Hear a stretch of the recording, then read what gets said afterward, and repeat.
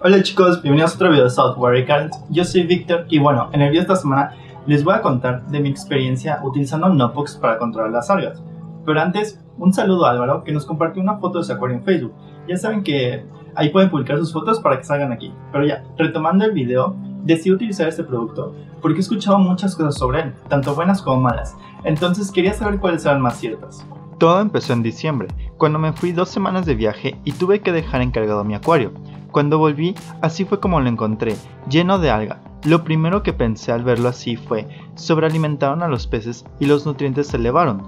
Entonces me puse a revisar parámetros al día siguiente y las concentraciones que obtuve de nitratos y fosfatos no eran lo que yo esperaba, o al menos no tan elevadas para haber hecho todo ese caos. Los nitratos estaban en 10 ppm y los fosfatos en 0 ppm.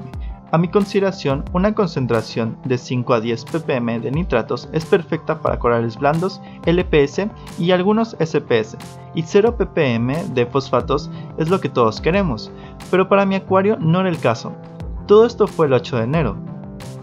Empecé haciendo algunas modificaciones para lograr controlar las algas sin la necesidad de comprar algún producto u otro filtro.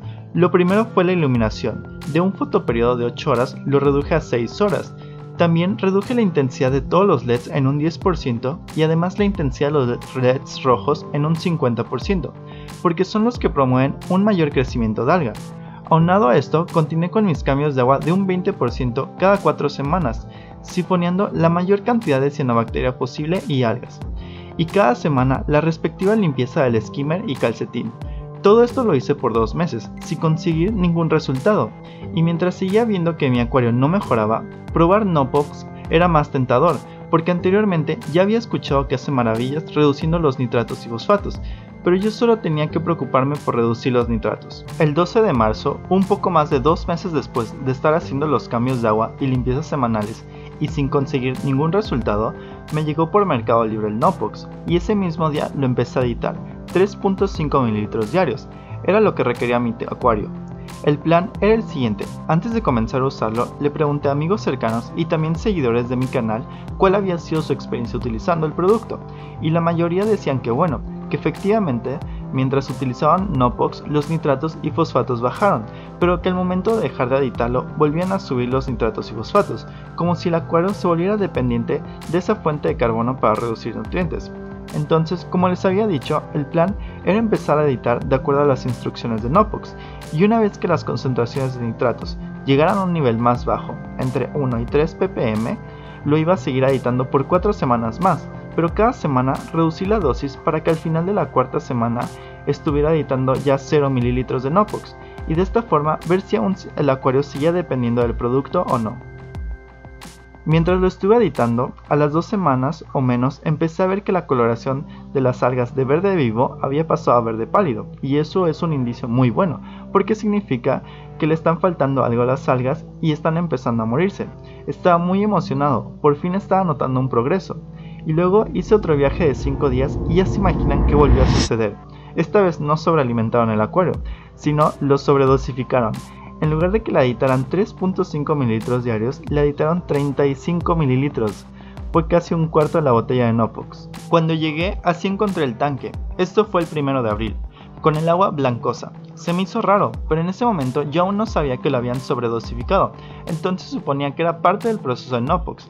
Al día siguiente el agua sigue igual, entonces decidí checar parámetros y los nitratos ya estaban en 0 ppm. Por un lado era bueno porque efectivamente el Nopox había reducido los nitratos, pero no entendía el agua blancosa, no encajaba, parecía bacteria muerta hasta que pregunté cuántos mililitros le habían editado mientras yo no estaba. Quería ver la cantidad que le habían puesto con la tapa medidora que les dejé, y fue entonces que vi que en lugar de que la editaran 3.5 mililitros, fueron 35 mililitros.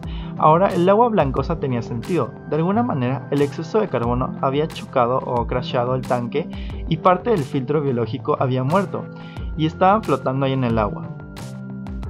Estaba muy preocupado y enojado, porque el video de Nopox estaba arruinado, o al menos no iba a ser como yo quería. Y por el lado del acuario, los peces se veían bastante bien, los corales estaban muy cerrados, y de hecho el zarco desprendió parte del tronco, era nuevamente el coral más afectado. El skimmer estaba como loco sacando agua con un tono muy claro, y cada día tenía que vaciar la copa cuando por lo general se llenaba en 5 o 7 días. Un poco desanimado y además que no había mucho que hacer, dejé que el acuario se recuperara solo. Claramente suspendí el Nopox, continué limpiando mi calcetín cada semana y el skimmer diario. Un poco más de cuatro semanas después, así es como luce el tanque. Los corales los veo mucho mejor que antes, la coloración que la tienen es más viva. Incluso esta montípera le salieron casi tres nuevas ramificaciones, es increíble. Los nitratos están en 2 ppm, mejor que nunca. La cianobacteria casi desapareció, solo queda un parche como de 2 centímetros. Y bueno, en general el alga disminuyó bastante. Sí tuve una pérdida que fue de un coral, una claularia papaya y un camarón, pero el camarón no sé qué tan relacionado pudo estar con todo el incidente. El punto de toda esta experiencia utilizando Nopox es que definitivamente el producto funciona para reducir nitratos y fosfatos. Entonces, si tienen problemas con nutrientes elevados, les recomendaría considerar este producto y seguir el plan que iba a hacer, que una vez obteniendo una concentración baja de nitratos y fosfatos, dejar de editar poco a poco Nopox. En mi caso, pude desmentir que el tanque se vuelve dependiente o adicto al producto, y tal vez porque maté a todas las bacterias que iban a depender del Nopox. No les estoy recomendando sobredosificar por 5 días después de 3 semanas de iniciar con el tratamiento. Es solo mi experiencia de lo que sucedió y cómo resultó. Hasta aquí el video de esta semana. Espero que les haya gustado. No olviden dejar su like si les gustó. Este, también el paquete de los corales, o sea, el frag pack aún sigue ahí. Si están interesados, me pueden enviar un mensaje. Nos ponemos de acuerdo. Este, bueno, igual, eh, los frag racks y el sujetador de calcetines, eh, ahí están por si les interesa. Los, los links esos van a estar en la descripción. Y ya cualquier duda que tengan acerca de, del video en general u otra, me lo pueden dejar en la sección de comentarios. Ahí voy a estar respondiendo. Y bueno, consideren suscribirse igual si aún no lo han hecho. Y si tienen Aquarium, nos vemos la próxima semana. Y la próxima semana va a haber noticias.